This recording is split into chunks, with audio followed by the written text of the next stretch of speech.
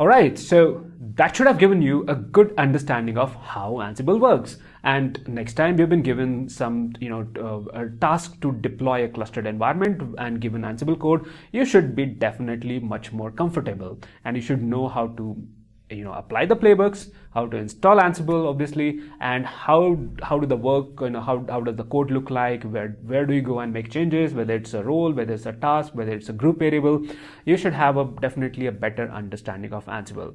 Now in no way this series is been targeted for to you know to basically uh, give you an expertise in Ansible. So if you're looking for if this if this is exciting for you and if you're really interested in learning Ansible, diving deeper into how it works from grounds up, we have just the right course for you.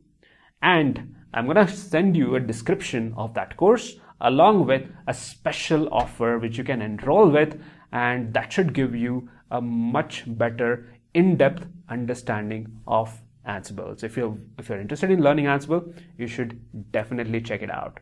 So with that, I'm gonna sign off with this series, and I hope you enjoyed these videos and learned about Ansible, the fundamentals of Ansible. So good luck and happy learning.